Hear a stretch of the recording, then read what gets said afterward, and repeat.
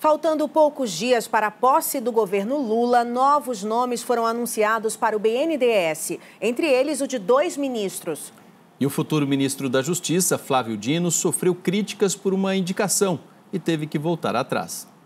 Não durou nem 24 horas a indicação de Edmar Camata como novo diretor-geral da Polícia Rodoviária Federal.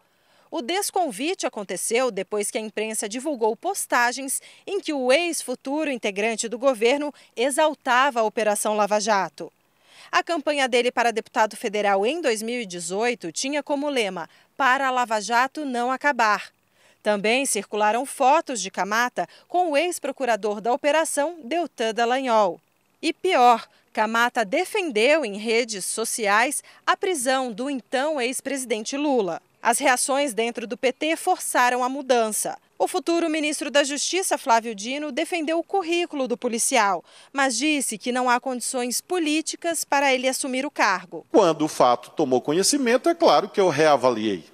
É, a sorte é, de nós todos, inclusive minha, mas sobretudo do presidente Lula, é de que tanto eu quanto minha equipe podemos entrar e sair a qualquer tempo, porque a responsabilidade política da equipe é minha, exclusivamente minha.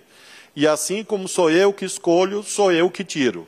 O novo indicado é Antônio Fernando Oliveira, que foi superintendente da Polícia Rodoviária Federal no Maranhão. E teve mais anúncio. A Luísio Mercadante, que assumirá a presidência do BNDES, revelou alguns de seus auxiliares. Entre eles, Nelson Barbosa, ex-ministro da Fazenda, e Tereza Campelo, ex-ministra de Desenvolvimento Social e Combate à Fome, os dois no governo Dilma Rousseff. Uma equipe de, de alto nível de gente do mercado, de CEOs do sistema financeiro, de gente com experiência na administração pública, para poder abrir um caminho em que o BNDES é, impulsione a indústria, porque o Brasil precisa se reindustrializar. Na manhã desta quinta-feira, o presidente eleito Luiz Inácio Lula da Silva deve anunciar mais nomes para ministérios, como, por exemplo, do ex-governador do Ceará, Camilo Santana, para a educação, o da pesquisadora Nízia Trindade, presidente da Fundação Oswaldo Cruz, para a saúde, e do ex-ministro de Lula e Dilma, Alexandre Padilha, para a Secretaria de Relações